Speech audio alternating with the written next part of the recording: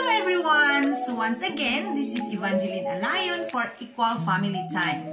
So for today's video, I wanna show you my year in review for the year 2022. So keep watching!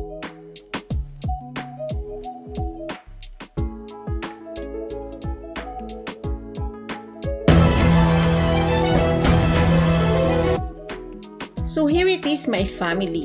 In January 2023, uh, YouTube creator sent me an email about my year in review for 2022.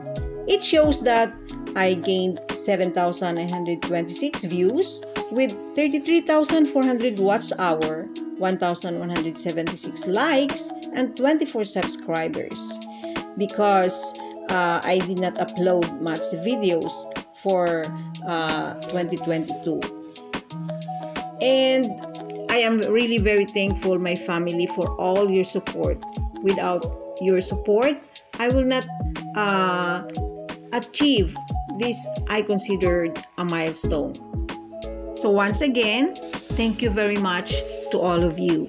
And for those who are new to my channel, please click the notification icon and the subscribe button so for you to get notified in every videos that I'm going to upload. So once again, thank you very much and God bless us all.